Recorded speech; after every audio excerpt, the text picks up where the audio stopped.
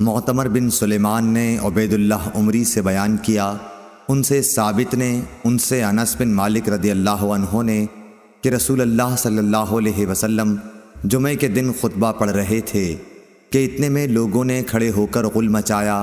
कहने लगे कि या रसूल अल्लाह बारिश के नाम बूंद भी नहीं, दरख्त सुर्ख हो चुके, यानी तमाम पत्ते खुश्क हो गए तो जानवर तबाह हो रहे हैं। आप सल्लल्लाहु अलैहि वसल्लम अल्लाह ताला से दुआ कीजिए कि हमें सैराब करे। आपने दुआ की कि अय अल्लाह, हमें सैराब कर। दो मरतबा आपने इस तरह कहा। कसम खुदा की उस वक्त आसमान पर बादल कहीं दूर दूर नज़र नहीं आता था। लेकिन दुआ के बाद अचानक एक बादल आया और बारिश शुरू हो गई। आप मिंबर से उतरे और नमाज़ पढ़ाई।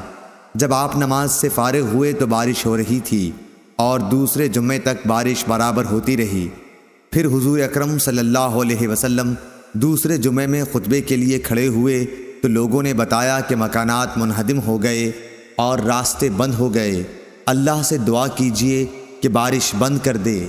इस पर नबी करीम सल्लल्लाहु अलैहि वसल्लम मुस्कुराए और दुआ की, ए अल्लाह, हमारे अतराफ़ में अब बारिश बरसा, मदीने में इसका सिलसिला बंद कर। आप सल्लल्लाहु अलैहि वसल्लम की दुआ से मदीने से बादल छट गए और बारिश हमारे इर्द गिर्द होने लगी। इस शान से कि अब मदीने में एक बूंद भी न पड़ती थी।